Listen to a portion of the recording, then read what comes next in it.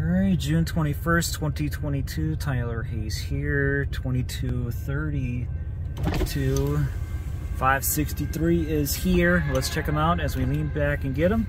Let's go.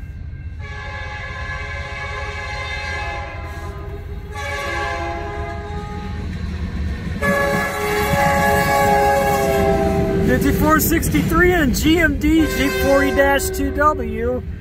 95.24 with two sandhoppers in tow for the 519. What a catch.